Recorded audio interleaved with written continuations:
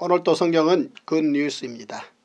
누구나 하루 20분이면 성경 1년 1독 할 수 있습니다. 누구나 세상 여우 없이도 성경 이야기 충분히 재밌게 할 수 있습니다. 성경은 대충대충 공부할 책이 아닙니다. 성경은 예화주의, 요절주의, 권별주의를 극복하고 전체를 통으로 공부해야 할 유일한 책입니다. 먼저 오늘의 Good News 열왕기하 3장에서 5장의 통습 5가지 포인트입니다. 첫째, 엘리야의 뒤를 이은 엘리사는 제자 양성으로 다가올 사역을 준비합니다. 둘째, 남유다의 여호사밧 왕은 북이스라엘의 선지자인 엘리사를 찾아가 도움을 구합니다.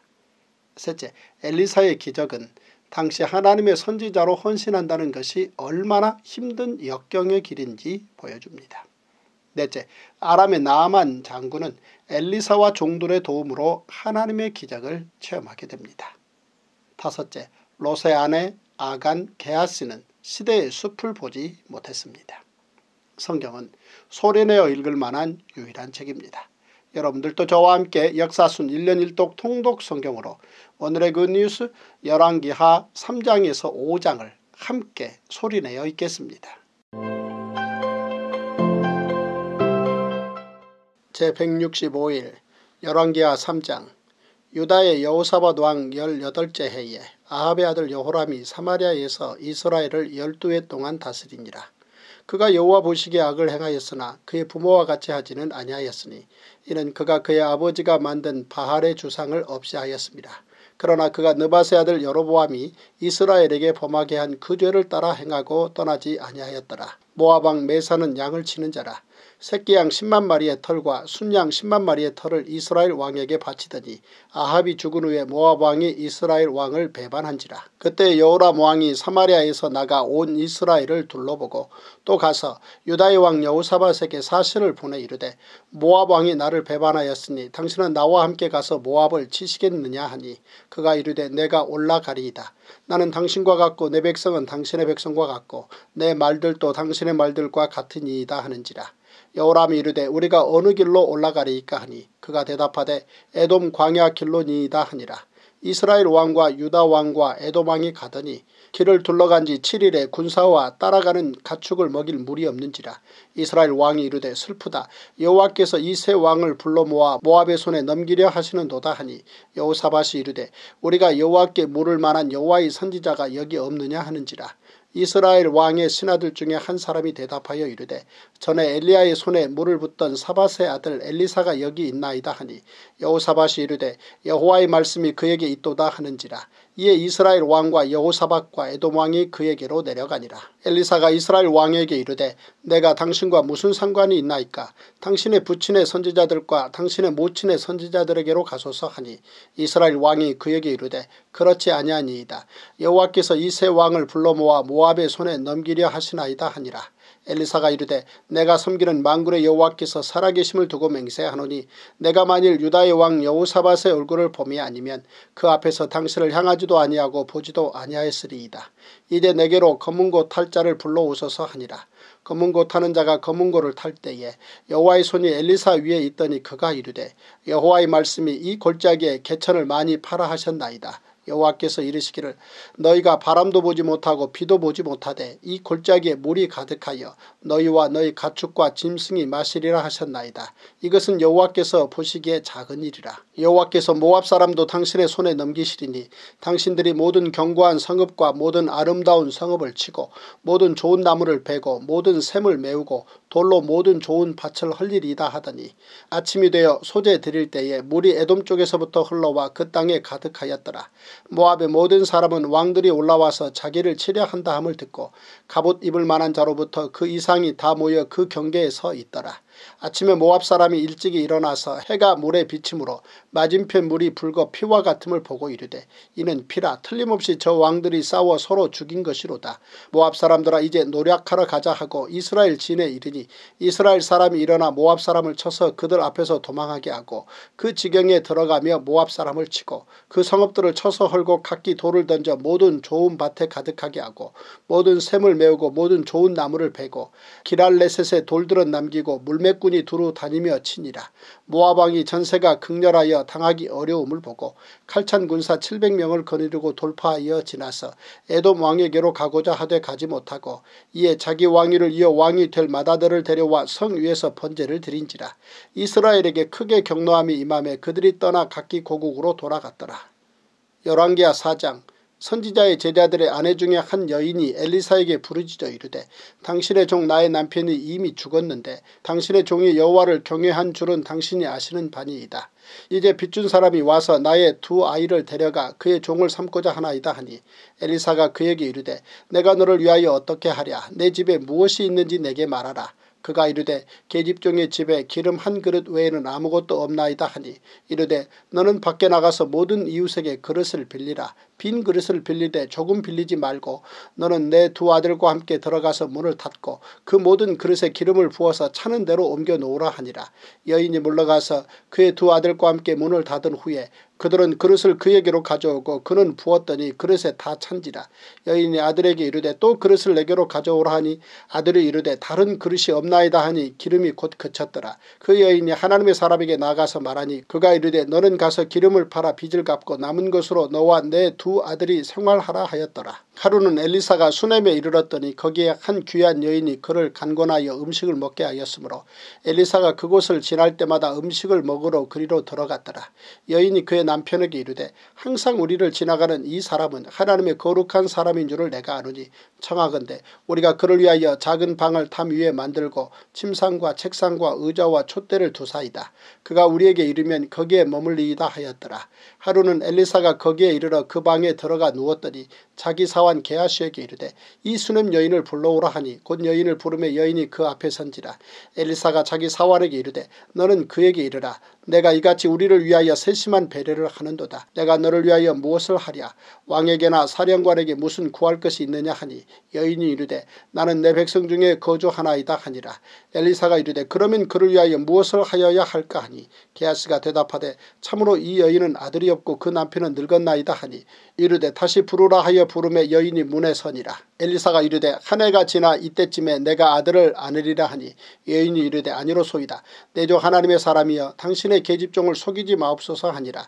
여인이 과연 잉태하여 한 해가 지나 이때쯤에 엘리사가 여인에게 말한 대로 아들을 낳았더라. 그 아이가 자라매 하루는 추수꾼들에게 나가서 그의 아버지에게 이르렀더니 그의 아버지에게 이르되 내 머리야 내 머리야 하는지라. 그의 아버지가 사원에게 말하여 그의 어머니에게로 데려가라 하며 곧 어머니에게로 데려갔더니 낮까지 어머니의 무릎에 앉아 있다가 죽은지라. 그의 어머니가 올라가서 아들을 하나님의 사람의 침상 위에 두고 문을 닫고 나와 그 남편을 불러 이르되 청하건대 사원 한 명과 나귀 한 마리를 내게로 보내소서. 내가 하나님의 사람에게 달려갔다가 돌아오리이다 하니 그 남편이 이르되 초하루도 아니요 안식일도 아니거를 그대가 오늘 어찌하여 그에게 나아가고자 하느냐 하는지라. 여인이 이르되 평안을 비나이다 하니라. 이에 나귀의 안장을 지우 고 자기 사환에게 이르되 몰고 가라 내가 말하지 아니하거든 나를 위하여 달려가기를 멈추지 말라 하고 드디어 갈멜산으로 가서 하나님의 사람에게로 나아가니라. 하나님의 사람이 멀리서 그를 보고 자기 사환 게하시에게 이르되 저기 수냄 여인이 있도다. 너는 달려가서 그를 맞아 이르기를 너는 평안하냐 내 남편이 평안하냐 아이가 평안하냐 하라 하였더니 여인이 대답하되 평안하다 하고 산에 이르러 하나님의 사람에게 나아가서 그 발을 아는지라. 게하시가 가까이 와서 그를 물리치고자 하며 하나님의 사람이 이르되 가만 두라. 그의 영혼이 괴로워하지만은 여호와께서 내게 숨기시고 이르지 아니하셨도다 하니라. 여인이 이르되 내가 내 주께 아들을 구하더이까 나를 속이지 말라고 내가 말하지 아니하더이까 하니 엘리사가 게하스에게 이르되 내 허리를 묶고 내 지팡이를 손에 들고 가라. 사람을 만나거든 인사하지 말며 사람이 내게 인사할지라도 대답하지 말고 내 지팡이를 그 아이 얼굴에 놓으라 하는지라. 아이의 어머니가 이르되 여호와께서 살아계심과 당신의 영혼이 살아계심을 두고 맹세하노니 내가 당신을 떠나지 아니하리 이다. 엘리사가 이에 일어나 여인을 따라가니라. 게하시가 그들보다 앞서가서 지팡이를 그 아이의 얼굴에 놓았으나 소리도 없고 듣지도 아니하는지라. 돌아와서 엘리사를 맞아 그에게 말하여 아이가 깨지 아니하였나이다 하니라. 엘리사가 집에 들어가 보니 아이가 죽었는데 자기의 침상에 눕혔는지라 들어가서는 문을 닫으니 두 사람뿐이라 엘리사가 여호와께 기도하고 아이 위에 올라 엎드려 자기 입을 그의 입에 자기 눈을 그의 눈에 자기 손을 그의 손에 대고 그의 몸에 엎드리니 아이의 살이 차차 따뜻하더라. 엘리사가 내려서 집 안에 서 한 번 이리저리 다니고 다시 아이 위에 올라 엎드리니 아이가 일곱 번 재채기하고 눈을 뜨는지라. 엘리사가 게하시를 불러 저 수넴 여인을 불러오라 하니 곧 부름에 여인이 들어가니 엘리사가 이르되 내 아들을 데리고 가라 하니라.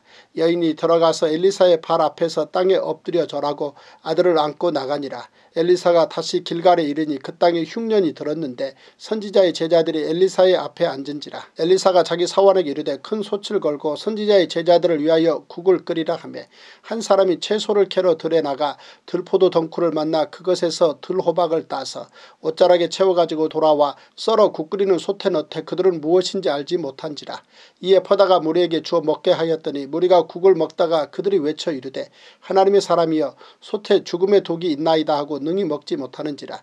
엘리사가 이르되 그러면 가루를 가져오라 하여 솥에 던지고 이르되 퍼다가 무리에게 주어 먹게 하라 하며 이에 솥 가운데 독이 없어지니라. 한 사람이 바알 살리사에서부터 와서 처음 만든 떡 곧 보리떡 20개와 또 자루에 담은 채소를 하나님의 사람에게 드린지라. 그가 이르되 무리에게 주어 먹게 하라. 그 사원이 이르되 내가 어찌 이것을 백명에게 주겠나이까 하나. 엘리사는 또 이르되 무리에게 주어 먹게 하라. 여호와의 말씀이 그들이 먹고 남으리라 하셨느니라. 그가 그들 앞에 주었더니 여호와 께서 말씀하신 대로 먹고 남았더라.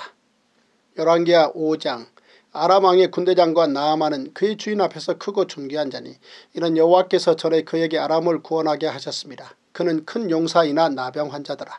전에 아람 사람이 떼를 지어 나가서 이스라엘 땅에서 어린 소녀 하나를 사로잡음에 그가 나만의 아내에게 수종들더니 그의 여주인에게 이르되 우리 주인이 사마리아에 계신 선지자 앞에 계셨으면 좋겠나이다. 그가 그 나병을 고치리이다 하는지라. 나만이 들어가서 그의 주인께 아뢰어 이르되 이스라엘 땅에서 온 소녀의 말이 이러이러하더이다 하니 아람왕이 이르되 갈지어다 이제 내가 이스라엘 왕에게 그를 보내리라 하더라. 나만이 곧 떠날 새 은 10달란트와 금 6천 개와 의복 10 벌을 가지고 가서 이스라엘 왕에게 그 글을 전하니 일러수되 내가 내 신하 나만을 당신에게 보내오니 이 글이 당신에게 이르거든 당신은 그의 나병을 고쳐주소서 하였더라. 이스라엘 왕이 그 글을 읽고 자기 옷을 찢으며 이르되 내가 사람을 죽이고 살리는 하나님이냐 그가 어찌하여 사람을 내게로 보내 그의 나병을 고치라 하느냐 너희는 깊이 생각하고 저 왕이 틈을 타서 나와 더불어 시비하려 함인 줄 알라 하니라. 하나님의 사람 엘리사가 이스라엘 왕이 자기의 옷을 찢었다함을 듣고 왕에게 보내 이르되 왕이 어찌하여 옷을 찢었나이까 그 사람을 내게로 오게 하소서 그가 이스라엘 중에 선지자가 있는 줄을 알리이다 하니라. 나만 이에 말들과 병거들을 거느리고 이르러 엘리사의 집문에 서니 엘리사가 사자를 그에게 보내 이르되 너는 가서 요단강에 몸을 일곱 번 씻으라. 내 살이 회복되어 깨끗하리라 하는지라. 나만이 노하여 물러가며 이르되 내 생각에는 그가 내게로 나와서서 그의 하나님 여호와의 이름을 부르고 그의 손을 그 부위 위에 흔들어 나병을 고칠까 하였도다. 다메섹강 아바나와 바르발은 이스라엘 모든 강물보다 낫지 아니하냐. 내가 거기서 몸을 씻으면 깨끗하게 되지 아니하랴 하고 몸을 돌려 분노하여 떠나니 그의 종들이 나와서 말하여 이르되 내 아버지여 선지자가 당신에게 큰 일을 행하라 말하였다면 행하지 아니하였으리이까 하물며 당신에게 이르기를 씻어 깨끗하게 하라 함이리이까 하니 나만이 이에 내려가서 하나님의 사람의 말대로 요단강에 일곱 번 몸을 잠그니 그의 살이 어린아이의 살같이 회복되어 깨끗하게 되었더라. 나만이 모든 군대와 함께 하나님의 사람에게로 돌아와서 그의 앞에 서서 이르되 내가 이제 이스라엘 외에는 온 천하에 신이 없는 줄을 아나이다. 청하건대 당신의 종에게서 예물을 받으소서 하니 이르되 내가 섬기는 여호와께서 살아계심을 두고 맹세하노니 내가 그 앞에서 받지 아니하리라 하였더라. 나만이 받으라고 강권하되 그가 거절하니라. 나만이 이르되 그러면 청하건대 노새 두 마리의 실을 흙을 당신의 종에게 주소서 이제부터는 종이 번제물과 다른 희생제사를 여호와 외 다른 신에게는 드리지 아니하고 다만 여호와께 드리겠나이다. 오직 한 가지 일이 있사오니 여호와께서 당신의 종을 용서하시기를 원하나이다.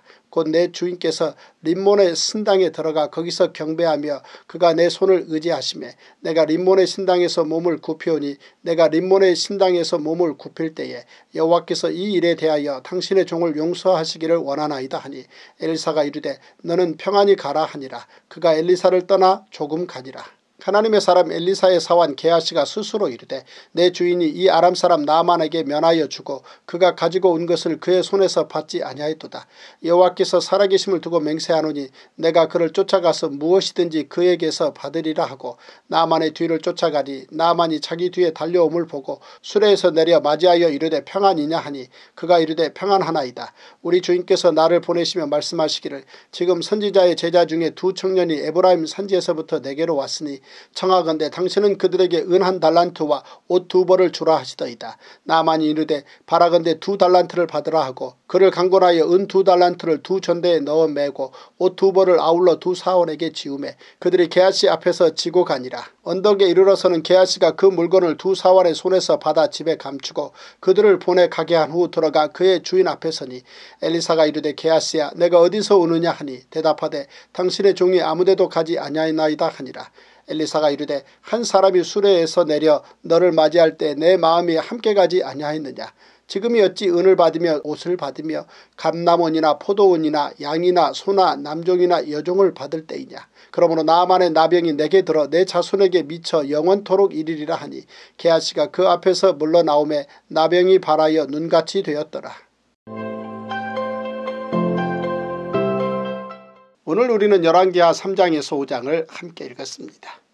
여호람은 북이스라엘의 왕이 되면서 최소한 아버지 아합과 형 아하시아와는 다른 길을 가려고 애를 썼지만 안타깝게도 여로보암의 길에서는 떠나지 않았습니다.